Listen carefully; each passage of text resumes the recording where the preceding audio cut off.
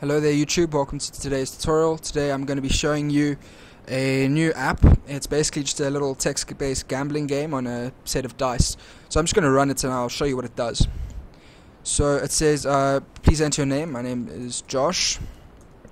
I want to start the game so I'm going to press 1.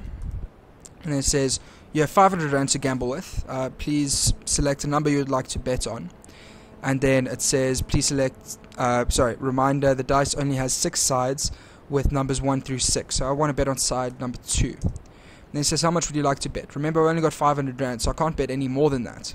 So say I want to bet 600 it gives me an error saying uh, you idiots I told you you don't have that much money. How much would you like to bet? So I'm gonna bet 13 rand. And it says the result of this game was 5 sorry you lost 13 rand um, and then it gives you the balance of how much you have and then you can bet again. Um, but it says uh, you need to select the number of the dice. So I want to select uh, the number 6 this time. How much I'd like to bet? Let's bet 54 rand. It says um, the result of this game was 5 so you lost 54 rand and it gives us the balance.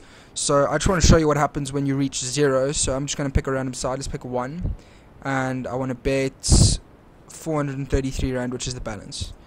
And it says, sorry, the result of this game was 2. Uh, you have 0 balance. Uh, you, Josh, have come to the end of this journey. You have lost everything. Try again another time. And that's basically what this little game does. I'll be showing you how to do it in uh, the following tutorials.